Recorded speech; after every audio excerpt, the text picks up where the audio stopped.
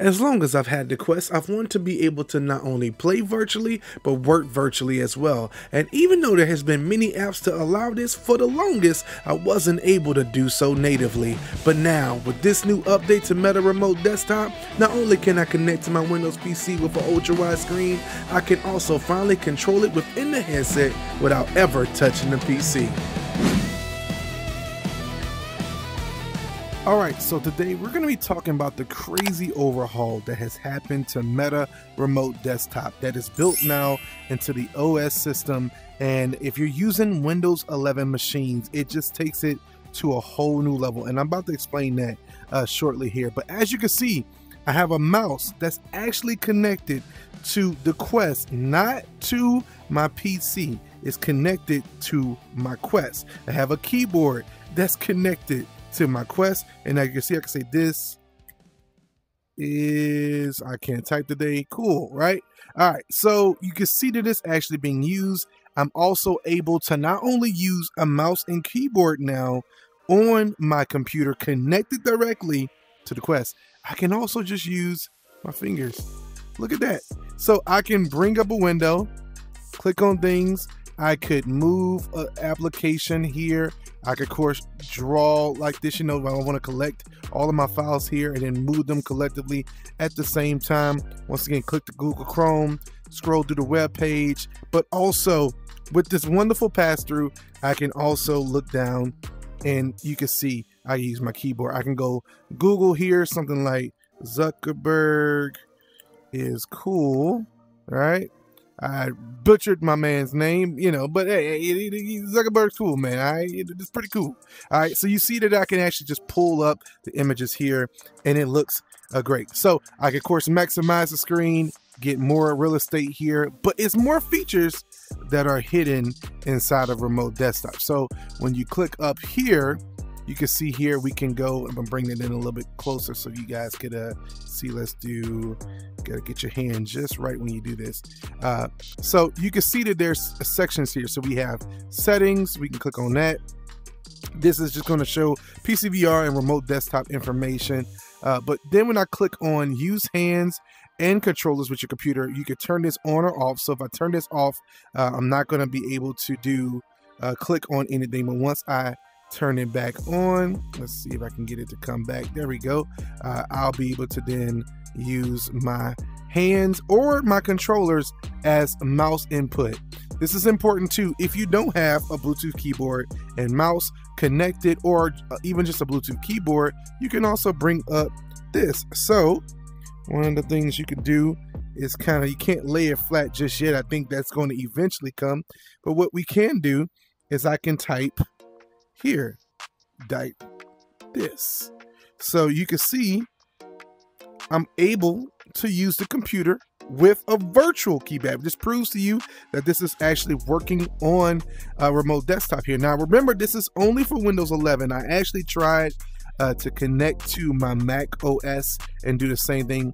Currently, as of right now, it does not function that way, but maybe in the future uh, it will. So, of course, we can go back up here. You have computer audio, so I can literally have the computer audio streaming.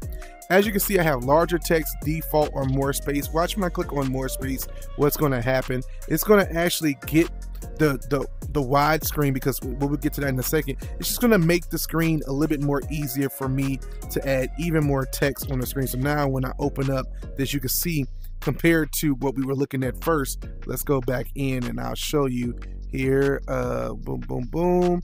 Default. Notice how many images are going to show up on the screen compared to what we had previously. So that's just one of the things that's really nice. Uh, that's been with it for a little bit. Display format, we talked about this before. Going to show you here.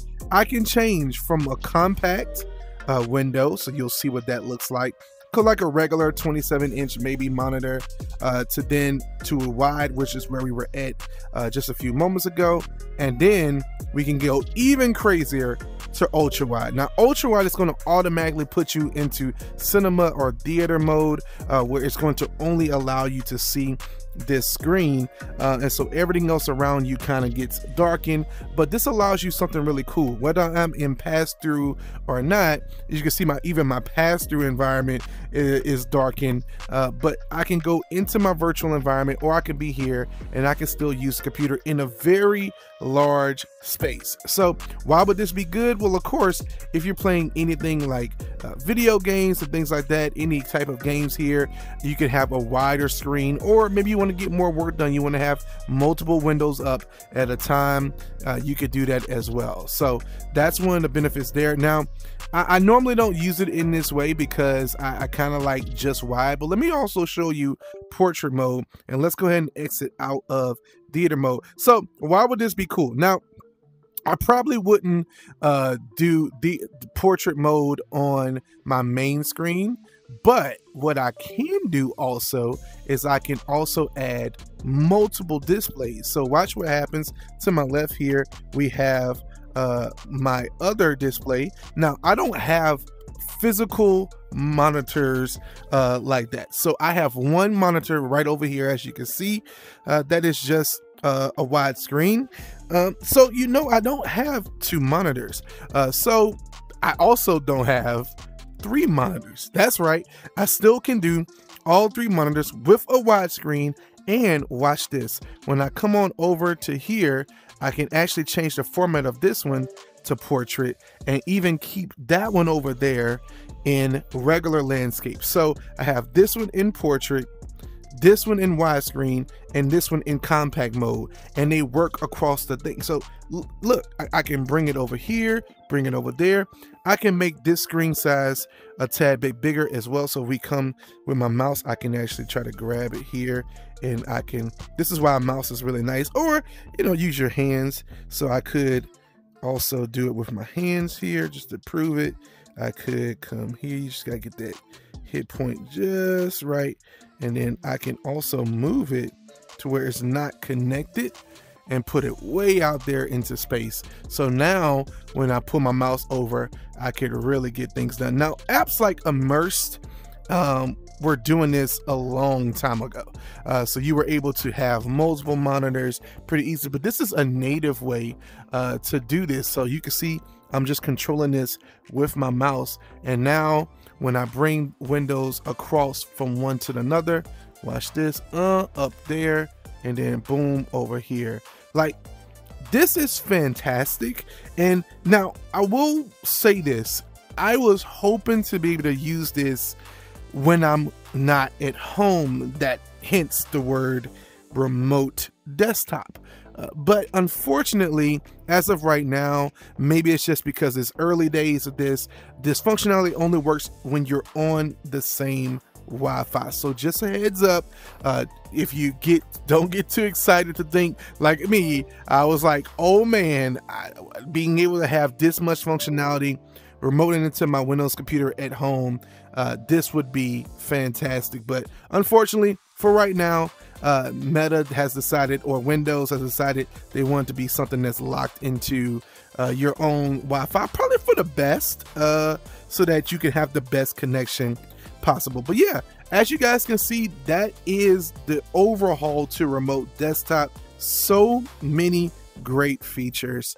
Um, I think this is one of the reasons why uh, I never bet against Meta. Uh, they always find a way uh, to level it up. You know, being able to have multiple monitors, multiple settings, multiple resolutions, and be able to use the keyboard and mouse connected to your device while also being able to still pull up other windows as well. I think that's great.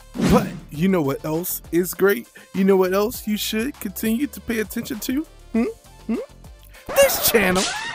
So why don't you subscribe? Why don't you hit the thumbs up? Why don't you comment below, letting us know how much you enjoy this content and hitting that bell notification so you can know the next time a video comes because I promise you, you got a lot more content coming real soon. It's your boy Jay Dun. I'll see you next time. Peace.